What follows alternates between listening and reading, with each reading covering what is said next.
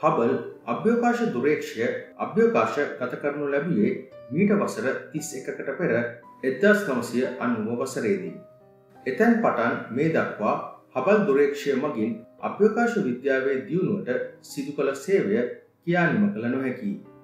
නමුත් මෙලෙස ඉතාමත් වැදගත් හබල් දුරේක්ෂය මෙම අවස්ථාවේදී ක්‍රියාවිරහිතවයි පවතින්නේ.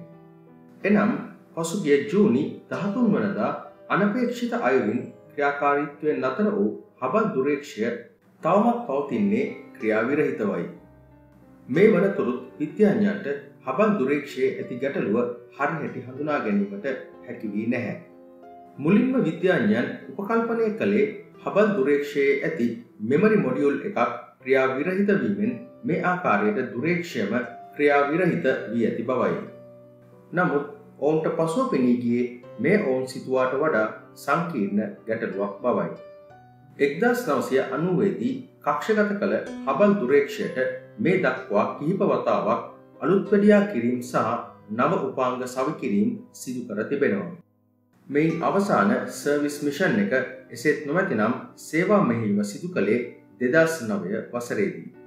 එතැන් පටන් මේ දක්වා හබල් දුරේක්ෂය කිසිදු ආකාරයක අලුත්වරියා කිරීමකට ලක් කර නැහැ. හබල් දුරේක්ෂයට ඇතිවී ඇති මෙම ගැටලුව නිරාකරණය කර ගැනීම සඳහා ඇති ප්‍රධානතම බාධකය වන්නේ විද්‍යාඥයන්ට සහ ඉංජිනේරුවන්ට එය අසනට ගොස් එහි ඇති ගැටලුව නිරීක්ෂණය කිරීමට නොහැකිවීමයි. ඒ කියන්නේ පෘතුවය වටා පක්ෂගතව ඇති හබල් දුරේක්ෂයේ යම් ගැටලුවක් ඇති වූ විට එය නිරාකරණය කරගත හැකි එකම ක්‍රමය වන්නේ පෘතුවයේ සිට එම ගැටලුව විනිශ්චය කිරීම එසේත් නොවති නම් ඩයිග්නෝස් කිරීම සහ එම ගැටලුව විසදා ගැනීමට අවශ්‍ය උපදෙස් පෘතුවයේ සිටම ලබාදීමයි. ඒවාගේම මේ පිළිබඳව ඇති බරපතලම අවධානම ගොනුයේ අපි යම් විදිහකින් හබල් තුරේක්ෂයට වැරදි උපදෙසක් ලබා දුන්නොත් හබල් දුරේක්ෂය සදහටම අපට අහිමිවීයාමේ හැකියාවක් තිබීමයි. ඒක නිසා මෙම අවස්ථාවේදී නාසා විද්‍යාඥයන් ඉතාමත් ප්‍රවේශමෙන් හබල් දුරේක්ෂයේ මෙම ගැටලුව පිළිබඳව අධ්‍යයනය කරමින් සිටිනවා.